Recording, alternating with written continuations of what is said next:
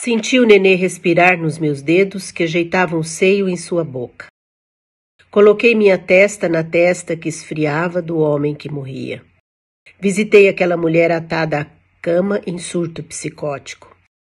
Estava ali quando o bezerro escorregou nascendo. Acompanhei dia a dia orquídea abrindo, árvore morrer de velha. Pude ver o sol acima de mim, acima da massa de mar que insistia em me puxar para baixo. Ouvi tantos gritos, beijei sem conhecer.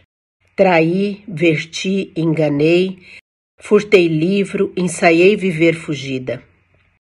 Amei, incendiei, dormi na areia, na rede, no chão.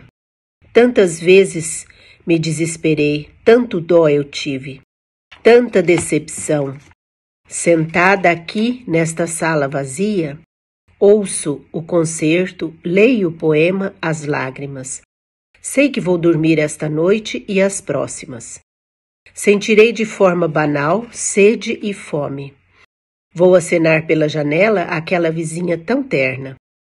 Apenas esse vento que não parece brisa, apenas esses ruídos de cidades unindo, apenas esse neto que beija molhado meu rosto me faz acreditar que tudo está contido num tempo sem data. A massa mórfica que conta essa história.